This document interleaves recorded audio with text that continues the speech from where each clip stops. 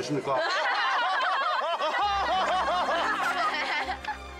안녕하십니까? 아니 지금 정신없이 지금 내가 지금 모처럼 지금 이 자리를 만드는데 지금 그렇게 걸어 들어오면 어떡해 그렇게 걸어 들어오면 어떡해 완전 일어나. 앉으세요, 앉으세요. 앉아. 여기 앉으세요. 의자 갖고. 앉아, 앉아, 앉아. 아니야, 나 딸이다 뭐 여기 앉으면 돼. 아 괜찮아. 아 괜찮아, 나 딸이다. 와 오늘 그래 되게 투샷을 본다. 어, 나 처음 TV 튀어나요. TV. 여기 뒤에 저희가 포차처럼 만들어놨거든요. 그러니까 수리는 없네. 금방 적응하셨어. 갑자기 아주 술 안 마신다면서 그 저기 뭐야 링거에 술 꽂아 술 담아가지고 어디서 여기 여기 알, 또. 알코올 여기다 꽂아가지고 마시 회사로 먹잖아. 아니 나는 술 안- 나하고 술 안 먹거든. 근데 혼자는 술 많이 먹는데 나는 알지. 밤새도록 웃어 술 먹으면. 밤새도록 웃어. 자다가 이런다. 밤새도록 예? 애기들 앞에서 애기들 앞에서 분위기 분위기. 애기들 앞에서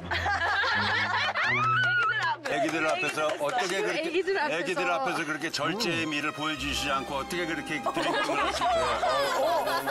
나 그래서 좀 이따 내가 언제 drinking 그렇게 해 계속 그냥 저 얘기 주셨어요. 오늘 가시방송이다. 퇴근해야겠다. 누군지 민수 아빠 누군지 알아? 우리 조건이 아니 조건 씨는 우리 남사친이야. 어, 엄마 남사친. 근데 자기는 나, 여사친 가져도 되나? 그러니까. 자기는 나 여사친 가져도 되나? 내가 그따구가 왜 필요해?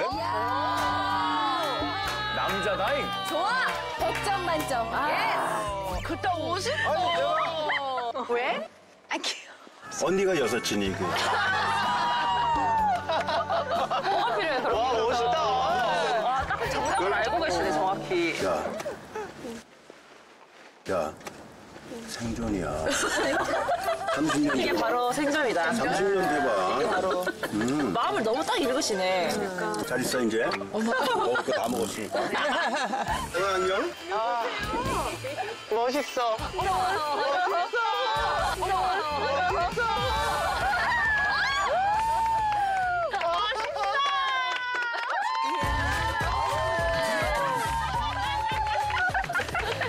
아들 춤추는 거.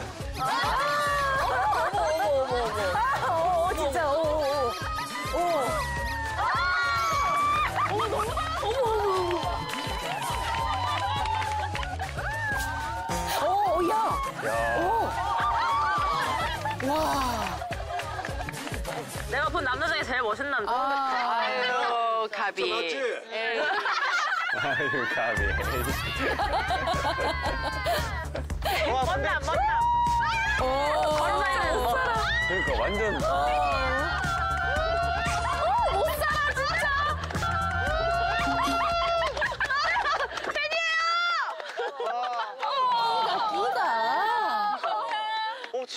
진짜. 끝까지. 와, 텐션. 신스틸러. 대단한 분이세요. 대단한 분과 함께 사신 대단한 분. 똑똑한 사람 옆에서 버티고 살아온 나. 진짜로 대단한 사람. 아직도 살고 있고. 근데 오늘 또 후식의 마무리가 또 있어요. 뭐예요, 그 아이스크림. 역시, 역시. 딱이다. 완전 취향 엄마가 또 너무 좋아하는 그 조합이 하나 있는데 이제 보여드릴 텐데 근데 여기에 특이한 게 있어. 그냥 바닐라 아닌가? 어 그냥 바닐라는 맞는데 사실 바닐라 시럽. 올리브 오일이야. 아? 우와. 어, 나 처음 봤어요. 올리브 오일이야. 어 근데 아이스크림에? 무슨 시럽이나 그런 거를 얹어 먹는 거 봤어도. 제가 참 좋아하는 소금이 음. 아, 단한 잔이구나. 이게 한짠 소금이 느낌. 이상한 조합 같이 느낄 수도 있지만 잘 먹겠습니다. 네. 잘 먹겠습니다. 잘 먹겠습니다. 어, 그렇지. 이게 그냥 떠먹으면 돼. 또 소금이 엄청 납작해. 어, 납작해. 별로 안 짜. 맛있어. 이렇게 맛있어. 해서 나 살면서 이런 맛 처음이야. 신기해. 어울리네, 이게. 어, 맛있다. 단짠 단짠에다가 짠에다가 오일 향이. 오일. 어. 오일의 향도 어, 너무 맛있어. 저건 집에서 쉽게 먹을 수 있잖아. 유행할 진짜. 것 같아. 와 맛있죠? 너무 맛있어요. 다 있는 거니까. 올리브 오일을 좋은 거 써야 된다는 말씀이시죠? 맞아요. 저거 한 명이 얼마신가? 얼마 얼마인데 엄마가 하는 방송은 싸게. 엄마 방송 봐야겠다. 우리 영업 당했어.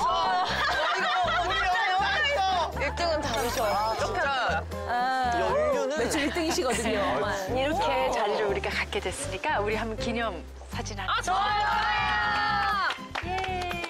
남는 건 사진이. 그래요. 다 나오나요? 네. 하나. 멋진 파티였습니다.